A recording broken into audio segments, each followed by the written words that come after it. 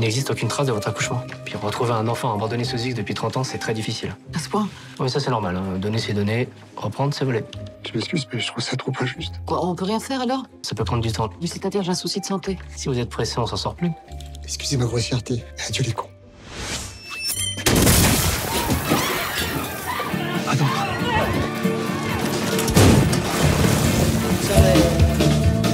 Bonjour, Je suis sustrapée. J'étais à l'agence de santé. Excusez-moi de vous dire ça, madame, mais on kidnappe pas les gens pour leur demander de l'aide pour un dossier. On leur tire pas non plus dessus quand ils sont au travail. C'est sur moi que je tirais. Ah bon? Prévenez à l'intérieur.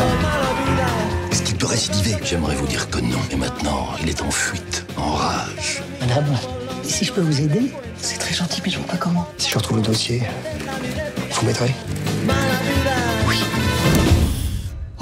Waouh Waouh. Il pose son arme et on va discuter tranquillement. Cinq points. Les mains derrière la tête. C'est une méprise S'il vous plaît, docteur. Vous êtes des médecins Oui, j'ai un petit garçon avec vous. On a eu un enfant ensemble. Madame Trappé, comme toutes les bourrines à tempérament, elle cherche la vie, l'énergie du positif. Elle cherche surtout son gamin. Et là encore, c'est une quête d'amour.